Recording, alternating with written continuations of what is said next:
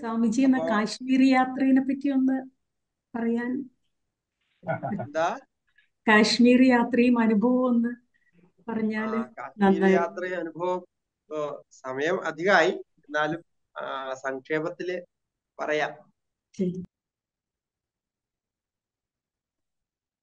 കാശ്മീർ യാത്ര ഈ കഴിഞ്ഞ ആഴ്ചയിൽ ഇവിടുന്ന് ഉത്തരകാശിന്ന് പോയി.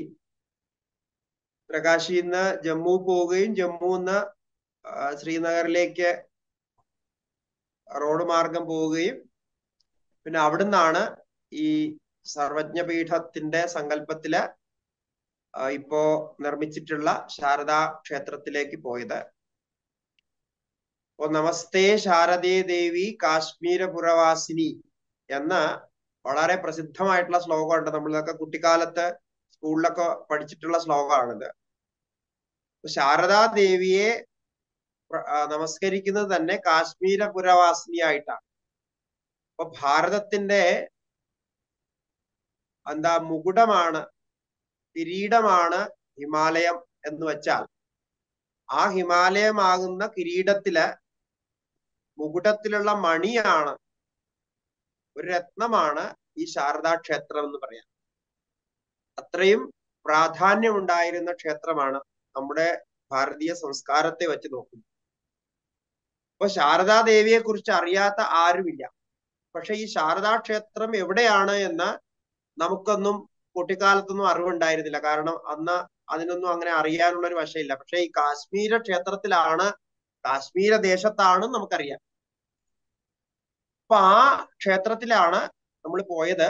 ഈ കഴിഞ്ഞ വർഷം നമ്മുടെ കർണാടകത്തിലുള്ള ശൃംഗേരിയിലുള്ള ശങ്കരാചാര്യ സ്വാമിജികളുടെ മഠമുണ്ട്. ശൃംഗേരി ശാരദാ പീഠം എന്നാണ് അതിന് പേര്. ആ ശൃംഗേരി ശാരദാ പീഠത്തിലെ ഇപ്പോഴുള്ള ജഗദ്ഗുരു ശങ്കരാചാര്യ സ്വാമിജികളുടെ പ്രേരണയിൽ അല്ലെങ്കിൽ അദ്ദേഹത്തിന്റെ തന്നെ നേതൃത്വത്തിൽ കഴിഞ്ഞ വർഷം ഇതേ തിഥിയിൽ ഇതേ സമയത്ത് അവിടെ ശാരദാംബയുടെ പ്രതിഷ്ഠ ചെയ്തു. പഞ്ചലോക വിഗ്രഹ പ്രതിഷ്ഠ. അതെല്ലാം ചെയ്തത് നമ്മുടെ ദക്ഷിണത്തിൽ നിന്ന് വന്ന പൂജാരിമാരും അല്ലെങ്കിൽ എല്ലാം അമ്പലം ഉണ്ടാക്കിയതൊക്കെ അവർ തന്നെയാണ്. അതെല്ലാം ശൃംഗേരി പീഠത്തിന്റെ നേതൃത്വത്തിലാണ് നടന്നത്. അപ്പൊ അതിന്റെ ഒന്നാമത്തെ വാർഷികമായിട്ടുള്ള കലശാഭിഷേകവും നമ്മൾ സാധാരണ അമ്പലങ്ങളിലൊക്കെ ചെയ്യാറുള്ള പിന്നെന്താണ്? കലശാഭിഷേക പൂജയും കുംഭാഭിഷേക പൂജയും ഒക്കെ ഉണ്ടല്ലോ. അതൊക്കെയാണ് അവിടെ നടന്നത്. അതിന്റെ ഭാഗമായിട്ട് ശാസ്ത്രാർത്ഥ സഭ അതായത് നമ്മൾ വാക്യാർത്ഥ സദസ് ശാസ്ത്രാർത്ഥം വാദ സദസ് എന്നൊക്കെ പറയുന്നത് നമ്മൾ ഡിബേറ്റ് എന്നൊക്കെ പറയുന്നു അത് നമ്മുടെ ഭാരതീയ ദർശനശാസ്ത്രങ്ങളുടെ ഒരു ഭാഗമായിരുന്നു. എല്ലാം ഡിബേറ്റ് ചെയ്തിട്ടായിരുന്നു ആൾക്കാര് അന്നത്തെ കാലത്ത് ഇതൊക്കെ പ്രചരിപ്പിച്ചിരുന്നത്. ശങ്കരാചാര്യ സ്വാമിജികളും ദിഗ്വിജയ യാത്രയിൽ അനേകം പണ്ഡിതന്മാരുമായി ഡിബേറ്റ് നടത്തിയിട്ടുണ്ട്. ഇപ്പൊ മണ്ഡലമേശ്വരനെ പോലുള്ള വലിയ വലിയ പണ്ഡിതന്മാരുമായിട്ട് അതൊക്കെ നമുക്കറിയാം. അപ്പൊ അങ്ങനെ അവസാനം സർവജ്ഞ പീഠം കയറുന്നതിന് മുമ്പ് സർവജ്ഞ പീഠം അലങ്കരിക്കുന്നതിന് മുമ്പ് അനേകം ശാസ്ത്രാർത്ഥങ്ങൾ നടന്നിട്ടുണ്ട്. അപ്പൊ അന്നത്തെ കാലത്ത് ഈ കാശ്മീര ക്ഷേത്രത്തിൽ അത്രയധികം പണ്ഡിതന്മാരുണ്ടായിരുന്നു എന്ന് മനസ്സിലാക്കണം. എല്ലാ ശാസ്ത്രങ്ങളും അറിയുന്ന നാസ്തികരും ആസ്തികരും ഒക്കെ ആയിട്ടുള്ള വലിയ പണ്ഡിതന്മാര് അന്നുണ്ടായിരുന്നു. അപ്പൊ ആചാര്യസ്വാമിജികൾ അന്ന് പദയാത്ര നടന്ന് ദിഗ്വിജയ യാത്ര പോകുമ്പോ ആ വഴിയിലൊക്കെ അവിടെ അവിടെ അതത് സ്ഥലങ്ങളിൽ ഉണ്ടായിരുന്ന പണ്ഡിതന്മാരൊക്കെ കണ്ട് അവരെല്ലാവരുമായിട്ട് ശാസ്ത്ര ശാസ്ത്രവാദങ്ങൾ നടത്തി ആ വാദങ്ങളിൽ അവരെയൊക്കെ ഒക്കെ തോൽപ്പിച്ചതിന് ശേഷമാണ് അവസാനം ഈ ശാരദാപീഠത്തിൽ എത്തുന്നത്. അല്ലാതെ ശാരദാപീഠത്തിൽ തന്നെ ഇതെല്ലാ കഥകളും നടന്നതല്ല. കഥകളൊക്കെ താഴെയാണ് നടന്നിട്ടുള്ളത്. എന്നിട്ട് ശാരദാപീഠത്തിൽ എത്തുകയും ഇപ്പൊ ഇത്രയും വലിയൊരു പണ്ഡിതൻ എത്തി. അത് ശാരദാംബയുടെ അനുഗ്രഹമാണ്. ശാരദാംബ തന്നെ അയച്ച ആളാണ്. എന്നതുകൊണ്ട് അതുവരെ അടഞ്ഞു കിടന്നിരുന്ന ദക്ഷിണദ്വാരം അതായത് ആ ശാരദാ പീഠത്തിന് നാല് ദ്വാരങ്ങളാണ് ഉണ്ടായിരുന്നത്. ആ ഇപ്പോഴും നമ്മൾ ഉണ്ടാക്കിയ അമ്പലത്തിലും അങ്ങനെ തന്നെയാണ്. ഈ നാല് ദ്വാരത്തിലെ ദക്ഷിണദ്വാരം അടഞ്ഞു കിടക്കുകയായിരുന്നു. അതായത് ദക്ഷിണ ഭാഗത്ത് നിന്ന് അതുവരെയും ഒരു പണ്ഡിതനും ഇങ്ങനെ വാദത്തിൽ ജയിച്ച് അവിടെ എത്തിയിരുന്നില്ല. അപ്പൊ എത്താത്തത് കൊണ്ട് അത് അടഞ്ഞു കിടക്കുകയായിരുന്നു എത്രയോ കാലമായിട്ട്.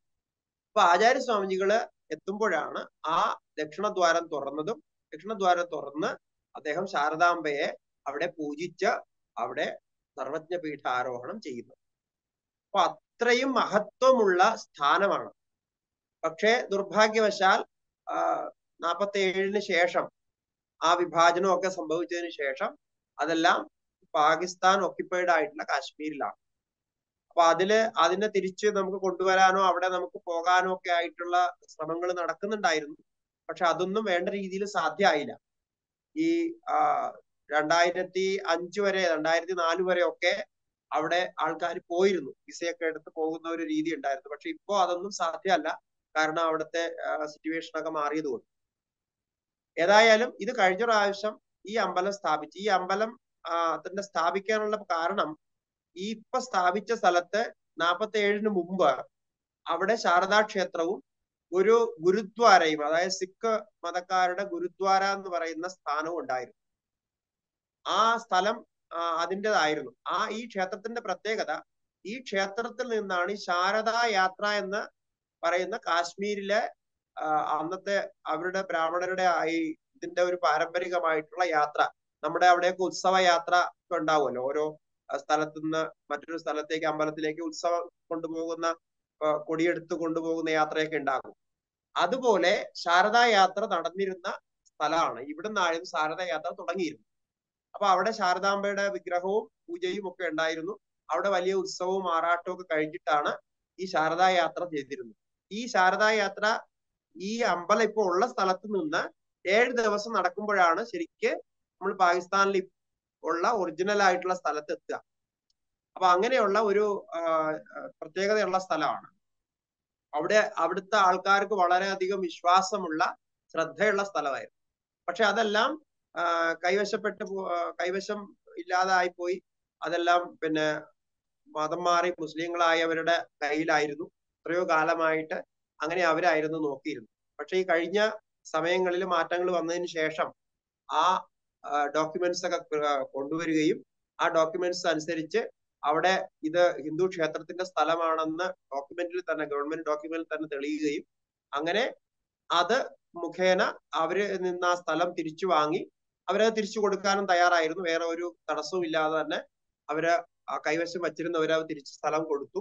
ആ സ്ഥലത്ത് തന്നെ ഇത് സ്ഥാപിക്കുകയാണ് ഉണ്ടായത്. കാരണം ഇതെല്ലാം മതം മാറിയ ആൾക്കാരായതുകൊണ്ട് അവരുടെ പാരമ്പരികമായിട്ട് തന്നെ അവർക്ക് അറിയാമായിരുന്നു ഇവിടെ ക്ഷേത്രം ഉണ്ടായിരുന്നു എന്നും ഗുരുദ്വാരം ഉണ്ടായിരുന്നു എന്നും അവിടെയുള്ള ആൾക്കാർക്ക് അറിയാം. ഒരു ചെറിയൊരു ഗ്രാമമാണ്. തീത്വാൾ എന്നാണ് ആ ഗ്രാമത്തിന് ഇപ്പൊ പറയുന്ന പേര്. അവർ പറയുന്ന പേര്. സംസ്കൃതത്തിൽ അത് തീർത്ഥബലം എന്നായിരുന്നു. തീർത്ഥബലം എന്ന് പറയുന്ന സ്ഥലമാണ് തീത്വാൾ ആയിട്ടുള്ളത്. അപ്പൊ അവിടെ ഒരു നാൽപ്പതോളം വീടുകളാണുള്ളത്. ചെറിയൊരു ഗ്രാമമാണ്. പക്ഷെ എല്ലാവരും നല്ല സുഖമായിട്ട് ജീവിക്കുന്ന ഒരു സ്ഥലമാണ്. അതിന്റെ നേരെ ഓപ്പോസിറ്റ് ആണ് പാകിസ്ഥാൻ. അതായത് ഇതിനിടയ്ക്ക് ഒരു നദിയാണുള്ളത്.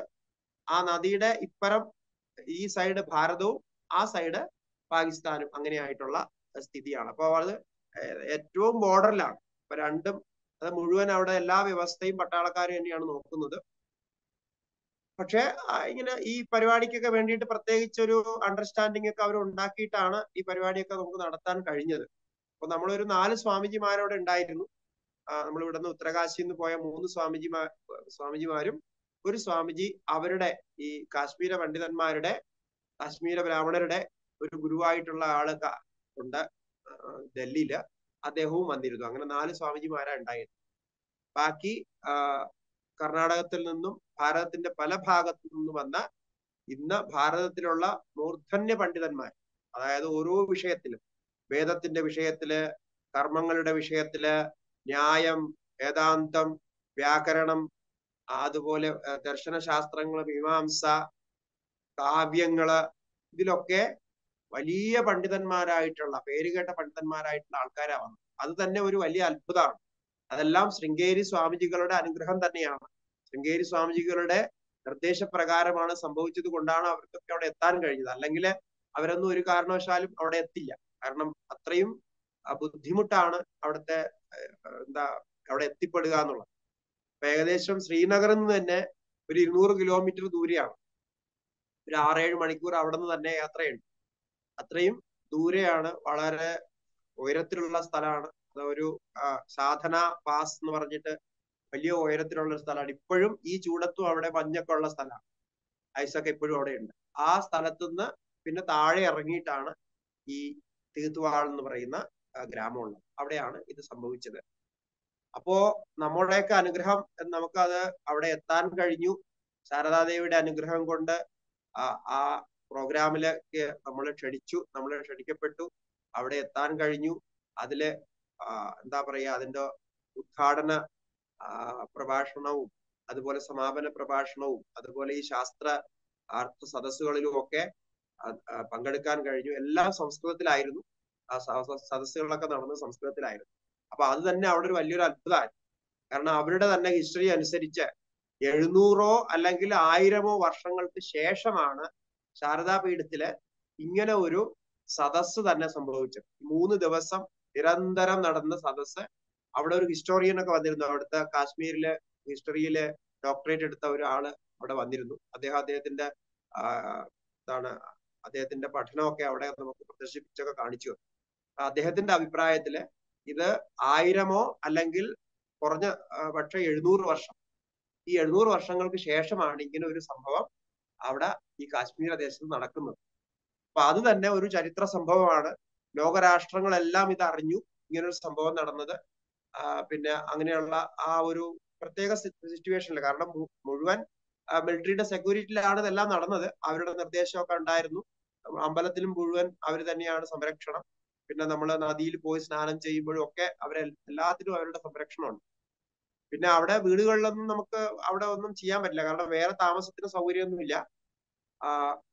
മിലിറ്ററിയുടെ തന്നെ ചില കെട്ടിടങ്ങളുണ്ട്. സൈന്യത്തിന്റെ സൈന്യക്കാരുടെ അവരുടെ കാര്യങ്ങൾ നടത്തുന്ന കെട്ടിടങ്ങളുണ്ട്. അതായത് ഷെഡുകൾ പോലെ ഇരുമ്പ് കൊണ്ടുണ്ടാക്കിയ ഷെഡുകളാണ്. അപ്പൊ ആ ഷെഡുകളിലാണ് നമ്മൾ താമസിച്ചതൊക്കെ. പിന്നെ ചില വീടുകളൊക്കെ അവർ ഒഴിഞ്ഞു തന്നു. അത് അവരുടെ ഒരു ഈ കാര്യത്തോടുള്ള ഒരു സ്നേഹം കൊണ്ടും അത് എന്താ പറയുക ഒരു ആദരവ് കൊണ്ടും മുസ്ലിങ്ങൾ തന്നെ അവരുടെ വീടൊക്കെ ഒഴിഞ്ഞ് ശുദ്ധിയാക്കിയിട്ട് കുറച്ചുപേർക്ക് താമസിക്കാനുള്ള സൗകര്യം തന്നു.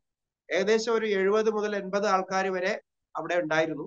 താഴെ നിന്ന് വന്നവരും പിന്നെ അവിടുത്തെ എന്താ പറയാ കാശ്മീരിൽ നിന്ന് ശ്രീനഗറിൽ നിന്നും ഒക്കെ ഇതിനു വേണ്ടി വന്ന സഹായിക്കാൻ വന്ന കാശ്മീര ബ്രാഹ്മണരുമായിട്ടുള്ള ആൾക്കാരെല്ലാം കൂടെ ചേർന്നു. പക്ഷെ പരിപാടിയെല്ലാം വളരെ ഗംഭീരമായിട്ട് എല്ലാം വിധി പ്രകാരം തന്നെ ഓരോ സാധനങ്ങളും അവിടെ എന്തൊക്കെ ഉപയോഗിച്ചോ അതെല്ലാം കർണാടകത്തിൽ നിന്ന് ശൃംഗേരിയിൽ നിന്ന് കൊണ്ടുവന്നതാണ്. വിറക് സഹിതം എന്താ ഹോമത്തിനുള്ള വിറക് സഹിതം അവിടെ നിന്ന് തന്നെ കൊണ്ടുവന്നതാണ്. ഒന്നും അവിടെ കിട്ടില്ല. അപ്പൊ അതുകൊണ്ട് പുഷ്പങ്ങൾ ബാക്കി കാര്യങ്ങൾ എല്ലാ സാധനവും അവിടെ നിന്ന് കൊണ്ടുവന്ന് വളരെ ഭംഗിയായിട്ട് ആ സാരസ് സാരസ്വത യജ്ഞം അതുപോലെ തന്നെ ആ എന്താ പറയാ വേദ മന്ത്രഘോഷങ്ങൾ നാല് വേദങ്ങൾ ഷടംഗങ്ങൾ ഇതൊക്കെ അവിടെ പാരായണം ചെയ്തു. പുരാണ പാരായണം പിന്നെ ഭാഷ്യങ്ങളുടെ പാരായണം അങ്ങനെ എന്തൊക്കെ ചെയ്യാൻ പറ്റുമോ ആ സമയത്ത് നാല് ദിവസത്തിൽ എന്തൊക്കെ ചെയ്യാൻ പറ്റുമോ അതെല്ലാം അവിടെ നിരന്തരം നടന്നുകൊണ്ടിരുന്നു അങ്ങനെ വളരെ ആനന്ദകരമായിട്ടുള്ള ഒരു അനുഭവമായിരുന്നു.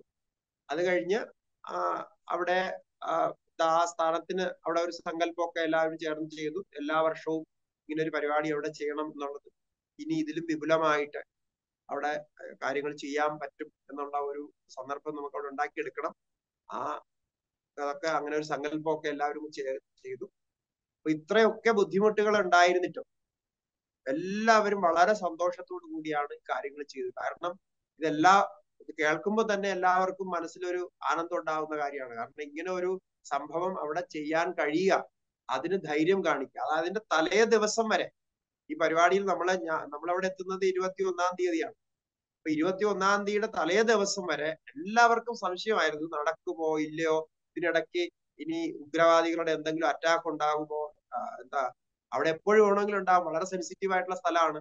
അവരെന്തെങ്കിലും ഒന്ന് പിന്നെ ഇറിറ്റേറ്റ് ചെയ്ത് ഒരു വെടിവെപ്പ് നടത്തി കഴിഞ്ഞു കഴിഞ്ഞാൽ നമ്മുടെ എല്ലാ പരിപാടിയും അവർ ക്യാൻസൽ ചെയ്യും. മിലിറ്ററി പിന്നെ അങ്ങോട്ട് പോകാൻ വേണ്ടി അപ്പോ ഇങ്ങനെ ആശങ്കയായിരുന്നു മുഴുവൻ. പക്ഷേ എല്ലാവരും അവിടെ എത്തി. ഒന്നും ഉണ്ടായില്ല. ചെറിയൊരു വെടിവെപ്പ് ഉണ്ടായി. അതായത് നമ്മൾ പോകുന്നതിന് ഒരു ദിവസം മുമ്പ് അവിടെ നദീ സ്നാനത്തിന് വേണ്ടി ഒരു വഴി ഉണ്ടാക്കുന്ന രണ്ട് ജോലിക്കാര് അവരുടെ തന്നെ അവിടെയുള്ള മുസ്ലിങ്ങൾ തന്നെ ആൾക്കാർ ജോലിക്ക് നിന്നിട്ട് മിലിറ്ററിയുടെ നേതൃത്വത്തിൽ വഴി ഉണ്ടാക്കുകയായിരുന്നു അതായത് ഈ നദിയിലേക്ക് പോയി കൃഷ്ണ ഗംഗ എന്ന നദിയുടെ പേര്. ആ നദിയിലേക്ക് പോയിട്ട് സ്നാനം ചെയ്യാൻ സാധാരണ സ്നാനം ചെയ്ത് നമുക്ക് വെള്ളം എടുക്കുകയൊക്കെ വേണമല്ലോ പൂജയ്ക്കൊക്കെ. അപ്പൊ അതിനുവേണ്ടി വഴി ഉണ്ടാക്കാൻ വേണ്ടി ലേബർ അയച്ച ആ ലേബറിലെ ഒരാളെ അവർ ഓപ്പോസിറ്റ് സൈഡിൽ നിന്ന് പട്ടാളം അവിടുന്ന് കാലിന് വെടിവെച്ചു. അതിന് കാലിന് വെടിവെക്കാൻ കാരണം കാരണം ഈ നദി പകുതി അവരുടേതാണ്. പകുതി അവരുടേതും പകുതി നമ്മുടേതാണ്. അങ്ങനെയാണ് അതിന്റെ ഒരു അണ്ടർസ്റ്റാൻഡിങ് അപ്പൊ നോമാൻസ് ലാൻഡ് ആണ്. അപ്പൊ അവിടെ എന്തെങ്കിലും ചെയ്യണമെങ്കിൽ എന്ത് നീക്കം ചെയ്യണമെങ്കിലും ഈ രണ്ട് പക്ഷത്തിന്റെയും പൂർണ സഹമതി വേണം. പിന്നെ ഗ്രാമത്തിലെ എല്ലാവരും ഇവിടെയും സഹമതി വേണം. എന്നാൽ മാത്രമേ അവിടെ ഇറങ്ങാൻ പറ്റൂ. അല്ലാതെ ഗ്രാമക്കാർ പോലും ആ നദിയിൽ ഇറങ്ങില്ല. കാരണം അങ്ങനെ ഇറങ്ങാൻ പാടില്ല. ആ നദിയാണ് എന്താ ബോർഡർ അപ്പൊ അങ്ങനെ ചെയ്തു. ഇവരെ അറിയിച്ചിരുന്നു. നമ്മുടെ മിലിറ്ററിയുടെ ഭാഗത്തു നിന്ന് അവരെ അറിയിച്ചിരുന്നു. നമ്മൾ ഇങ്ങനെ ചെയ്യാൻ പോകുന്നുണ്ട്. അവിടെ നമുക്ക് സ്നാനം ചെയ്യണമുണ്ട്. നമ്മൾ വെള്ളം എടുക്കുന്നുണ്ട്. എന്നൊക്കെ പറഞ്ഞിരുന്നു. പക്ഷെ ഇതിനിടയ്ക്ക് അവർ ഇറിറ്റേറ്റ് ചെയ്യാനായിരിക്കാം. അവരവിടെ നിന്ന് വെടിവെച്ചു. പിന്നെ അയാളെ അവിടെ നിന്ന് അപ്പൊ തന്നെ കൊണ്ടുപോയി ഹോസ്പിറ്റലിൽ അഡ്മിറ്റ് ചെയ്തു. പക്ഷെ വേറെ സംഭവങ്ങളൊന്നും ഉണ്ടാവാതെ സൂക്ഷിച്ചു. കാരണം എന്നാൽ നമ്മുടെ പരിപാടി നടക്കില്ല അപ്പൊ അതുകൊണ്ട് വളരെ ശാന്തമായിട്ട് തന്നെ മിലിറ്ററി അതെല്ലാം മാനേജ് ചെയ്തു. പിന്നെ അത് കഴിഞ്ഞ് നമ്മുടെ പരിപാടിയുടെ രണ്ടാം ദിവസം മൂന്നാം ദിവസം അവരുടെ അടുത്തുനിന്ന് പ്രത്യേക പെർമിഷൻ വാങ്ങിച്ച് പിന്നെ അവസാനം അവർ പത്ത് പേര് പത്ത് പേരായിട്ട് പോയിട്ട് കുളിക്കാനും ഇതിനുള്ള പെർമിഷൻ തന്നു. അങ്ങനെ പത്ത് പത്ത് പേരായിട്ട് മിലിറ്ററിയുടെ തന്നെ സെക്യൂരിറ്റിയിൽ നമ്മൾ പോയിട്ട് അവിടെ കുളിക്കുകയും ഇതൊക്കെ ചെയ്തു. അപ്പൊ അങ്ങനെ എല്ലാം കൊണ്ടും വളരെ ഗംഭീരമായിട്ടുള്ള ഒരു എന്താ പറയാ ഒരു അനുഭവമായിരുന്നു. അപ്പോ നമുക്ക് എപ്പോഴും അഭിമാനിക്കാം. ഇങ്ങനെ ഒരു സന്ദർഭം ഉണ്ടായി. ആയിരം വർഷങ്ങൾക്ക് ശേഷം ഒരു മാറ്റം അവിടെ ഉണ്ടായിരുന്നു. പിന്നെ ശാരദാ ക്ഷേത്രം എന്ന് പറയുന്നത് ആ ഒരു ക്ഷേത്രം മാത്രമല്ല. ഈ കാശ്മീർ എന്ന് പറയുന്നത് വാസ്തവത്തിൽ അതിശയിപ്പിക്കുന്ന ഒരു സ്ഥലമാണ്. നമ്മൾ ഭാരതത്തിൽ ഇത്രയും പവിത്രമായിട്ടുള്ള ഇത്രയും എന്താ എനർജൈസ്ഡ് ആയിട്ടുള്ള ഒരു സ്ഥലം വേറെ ഉണ്ടാവില്ല എന്താ കാരണം ഈ ഈ ശ്രീനഗർ എന്നൊക്കെ പറയുന്നത് നമ്മുടെ ശ്രീവിദ്യ ഉപാസനയുടെയും ആഗമശാസ്ത്രങ്ങളുടെയും തന്ത്രോപാസനയുടെയും ഒക്കെ മൂലസ്ഥാനമാണ്. അവിടെ ഇപ്പൊ തന്നെ അവരുടെ ഒരു കണക്കനുസരിച്ച് എഴുന്നൂറോളം ക്ഷേത്രങ്ങൾ വളരെ പ്രധാനമായിട്ടുള്ള ഈ എഴുന്നൂറ് ക്ഷേത്രങ്ങൾ എന്ന് പറയുന്ന എല്ലാ ക്ഷേത്രങ്ങളും ആയിരം വർഷത്തിലധികം പഴക്കമുള്ള ക്ഷേത്രങ്ങൾ. അപ്പൊ ഈ കാശ്മീർ നഗരം എന്ന് പറയുന്നത് മുഴുവൻ ക്ഷേത്രങ്ങളുടെ ഒരു നഗരമായിരുന്നു. അങ്ങനെ പുരാണങ്ങളിൽ വർണനയുണ്ട്. ക്ഷേത്ര നഗരിയായിട്ടാണ് കാശ്മീരിനെ പറയുന്നത്. അപ്പൊ എഴുന്നൂറ് ക്ഷേത്രങ്ങൾ ഈ ഇവർ തകർത്തിട്ടുണ്ട്. അതിൽ ഒരു ക്ഷേത്രം മാത്രം ഈ പുരാ പൗരാണികമായ ക്ഷേത്രങ്ങളിൽ ഒന്ന് മാത്രമാണ് തകർക്കപ്പെടാതെ നിൽക്കുന്നത്. അത് ശ്രീനഗറിലുള്ള ജ്യേഷ്ഠേശ്വര മഹാദേവ ക്ഷേത്രം എന്ന് പറയും. അതാണ് അതിന്റെ പുരാതന പേര് ജ്യേഷ്ഠേശ്വര മഹാക്ഷേത്രം. അപ്പൊ ശ്രീനഗർ കാണാൻ പോകുന്നവരൊക്കെ ദർശിക്കാൻ പോകുന്നത് ഈ ക്ഷേത്രമാണ്. അവിടെ ഒരു ക്ഷേത്രം അതേ ഉള്ളൂ. അതിപ്പോ ശങ്കരാചാര്യ സ്വാമി ക്ഷേത്രമായിട്ടാണ് അതിൽ അറിയപ്പെടുന്നത്. കാരണം ശങ്കരാചാര്യ സ്വാമികൾ പോയി അവിടെ ശ്രീനഗറിൽ എത്തിയപ്പോ അവിടെയാണ് അദ്ദേഹം തപസ്സിരുന്നത് അവിടെ ഒരു ഗുഹയൊക്കെ ഉണ്ട് ആ അമ്പലത്തിലെ ഗുഹയിലാണ് തപസ്സിരുന്നത് അതിനുശേഷം ആ ജ്യേഷ്ഠേശ്വര ക്ഷേത്രം ശങ്കരാചാര്യ സ്വാമിജികളുടെ പേരിൽ ഇപ്പൊ ശങ്കരാചാര്യ സ്വാമി ക്ഷേത്രം എന്നാണ് അറിയപ്പെടുന്നത്. അപ്പൊ ശങ്കരാചാര്യ സ്വാമിജികളുടെ പേരിലാണ് അറിയപ്പെടുന്നത്. അതിൽ നിന്ന് തന്നെ മനസ്സിലാക്കാം ശങ്കരാചാര്യ സ്വാമിജികൾ അവിടെ എത്തിയതും അവിടെ തപസ്സനുഷ്ഠിച്ചതും അദ്ദേഹം അവിടെ പുനരുദ്ധാരണത്തിന്റെ കാര്യങ്ങൾ ചെയ്തതും ഒക്കെ അപ്പൊ അങ്ങനെ ഉള്ള ഒരു ഐതിഹ്യമൊക്കെ അവിടെ ഉണ്ട് ആ ഒരു ക്ഷേത്രമാണ് പുരാതനമായിട്ടുള്ളതിൽ മുഴുവനായിട്ട് അതായത് ക്ഷേത്രം തകരാതെ കിട്ടിയിട്ടുണ്ട്. ബാക്കി എല്ലാ ക്ഷേത്രങ്ങളും തകർക്കപ്പെട്ടിരിക്കുകയാണ്. അതിന്റെ അവശിഷ്ടങ്ങൾ മാത്രമേ കിട്ടിയിട്ടുള്ളൂ. അനേകം സൂര്യക്ഷേത്രങ്ങൾ ഉണ്ടായിരുന്നു ഭൈരവ ക്ഷേത്രങ്ങൾ ഉണ്ടായിരുന്നു അപ്പൊ അങ്ങനെ എഴുന്നൂറ് ക്ഷേത്രങ്ങളുടെ കഥ അവർ പറയുന്നു. അപ്പൊ അതൊക്കെ സംഭവിച്ച ആ ഒരു സ്ഥലത്ത് ഇത്രയും വർഷങ്ങൾക്ക് ശേഷം ഇങ്ങനൊരു സംഭവം ഉണ്ടായി. അതിൽ നമുക്കൊക്കെ പങ്കെടുക്കാൻ കഴിഞ്ഞു. അതിന് ശാരദാദേവിയുടെ അനുഗ്രഹം ഉണ്ടായി നമ്മുടെ ഗുരുപരമ്പരയുടെ അനുഗ്രഹം ഉണ്ടായി എന്ന് പറയുമ്പോൾ അത് തന്നെ ഒരു വലിയ എന്താ ഒരു പുണ്യമായിട്ട് ഒരു ആനന്ദത്തിന്റെ വിഷയമായിട്ട് കണക്കാക്കുന്നു. കാരണം അവസാന ദിവസം വരെ നമുക്കും പോകുന്നതിൽ ആശങ്ക ഉണ്ടായിരുന്നു കാരണം അത് സംഭവിക്കുമോ ഇല്ലയോ? അപ്പൊ അവരൊന്നും വ്യക്തമായിട്ട് പറയുന്നുണ്ടായിരുന്നില്ല. പക്ഷെ എന്തായാലും നമ്മൾ തീരുമാനിച്ചു. എന്തായാലും പോവുക നോക്കുക സംഭവിക്കും എന്നുള്ള രീതിയിൽ പോവുക എന്ന രീതിയിൽ വളരെ പോസിറ്റീവ് ആയിട്ടുള്ള രീതിയിൽ നമ്മൾ പോയി. അത് എല്ലാം സംഭവിച്ചു വേറെ തടസ്സങ്ങളൊന്നും ഇല്ലാതെ എല്ലാം നടന്നു. അപ്പൊ ഇതാണ് അതിന്റെ ഒരു ചുരുക്കം. ഇനി എപ്പോഴെങ്കിലുമൊക്കെ ഇനിയുള്ള സന്ദർഭത്തിൽ ഓർമ്മ വരുന്ന കാര്യങ്ങളൊക്കെ വിശദമായിട്ട് വീണ്ടും പറയാം. അപ്പോ എനിക്ക് ഇടയ്ക്ക് നമ്മൾ പിന്നെ ഫോട്ടോ ഒക്കെ അയച്ചിരുന്നു. അപ്പൊ ആ ഫോട്ടോ ഒക്കെ നിങ്ങൾ കണ്ടിരിക്കുമെന്ന് വിചാരിക്കുന്നു. പിന്നെ അവിടെ കവിത കാവ്യ രചന ഒക്കെ ഉണ്ടായി. അതായത് ഈ പഴയ രീതിയിൽ കവിതകൾ രചിക്കുക. കവിത രചിക്കുക എന്ന് പറഞ്ഞാൽ ഈ ശതാവധാനം എന്നൊക്കെ പറഞ്ഞ ഒരു പരിപാടിയുണ്ട്. അതായത് ഒരു സ്റ്റേജിൽ ഒരു കവി ഇരിക്കുന്നു. മറ്റുള്ള പണ്ഡിതന്മാരെല്ലാം ചുറ്റും ഇരിക്കുന്നു. എന്നിട്ട് അവർ ഓരോരോ വിഷയം പറയുന്നു. ആ വിഷയത്തിൽ ആ കവി അവിടെ ഇരുന്നു കൊണ്ട് തന്നെ ആ പണ്ഡിതൻ അവിടെ ഇരുന്നു കൊണ്ട് തന്നെ ആ ശ്ലോകങ്ങൾ നിമിഷങ്ങൾ കൊണ്ട് രചിക്കുന്നു. ആ ആ വിഷയത്തിനനുസരിച്ച് ശ്ലോകങ്ങൾ രചിക്കുന്നു. അപ്പൊ അത് ഇപ്പൊ എത്രയോ വർഷത്തിന് ശേഷം ഇതൊക്കെ നമ്മൾ കാണുമ്പോൾ നമുക്ക് തോന്നും ഇന്നും ഇതൊക്കെ നിലനിൽക്കുന്നുണ്ട്. നമ്മുടെ ശങ്കരപീഠങ്ങളുടെ ഇപ്പൊ ശൃംഗേരി മഠത്തിന്റെയും കാഞ്ചി മഠത്തിന്റെയും അനുഗ്രഹം കൊണ്ട് ഇതൊക്കെ ഇപ്പോഴും അവർ സംരക്ഷിക്കുന്നുണ്ട്. അപ്പൊ ഒരു ഇരുപത്തിയാറ് വയസ്സായ ഒരു ചെറുപ്പക്കാരനാണ് ഇപ്പോ ഇവിടെ ഈ അവധാനം നടത്തിയത്. അവധാനം എന്ന് അതിന് പറയാം അപ്പോ ഏത് വിഷയം നമ്മൾ ഏതെങ്കിലും വിഷയം പറയും ഈ വിഷയത്തിൽ കവിത എഴുതാൻ പറഞ്ഞു കഴിഞ്ഞാൽ അദ്ദേഹം ആ ഛന്തസ്സിൽ അവിടെ ഇരുന്ന് ആ വിഷയത്തെ പ്രകടമാക്കുന്ന രീതിയിൽ കവിത എഴുതും. അപ്പൊ അതിൽ തന്നെ നമ്മൾ ഈ അക്ഷര ശ്ലോകങ്ങളൊക്കെ പറയുന്നത് പോലെ ഇന്ന അക്ഷരങ്ങൾ പാടില്ല ഇന്ന അക്ഷരങ്ങൾ വേണം എന്നൊക്കെ നമുക്ക് പറയാം. അപ്പൊ അതനുസരിച്ച് തന്നെ അദ്ദേഹം അത് രചിക്കും. അപ്പൊ അതൊക്കെ ചെയ്തു. അതെല്ലാം ശാരദാദേവിയുടെ വലിയ അനുഗ്രഹം തന്നെയാണ്. അതൊക്കെ വളരെ സുന്ദരമായി നടന്നു. ആ അങ്ങനെ ഒരു ഇങ്ങനെയൊക്കെയുള്ള വ്യക്തികളെ സംരക്ഷിക്കുന്നുണ്ട്.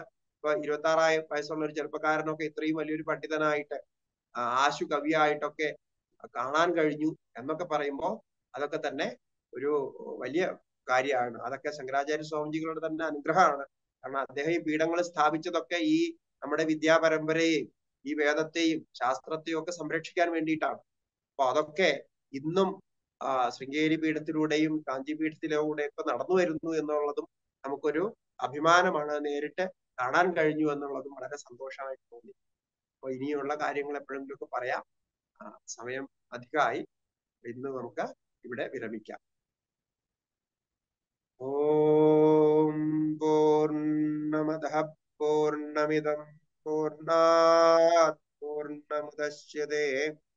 പൂർണസ്യ പൂർണമാദായ പൂർണമേവാവശിഷ്യത്തെ ओम शांति शांति शांति। श्री गुरुभ्यो नमः। हरि ओम।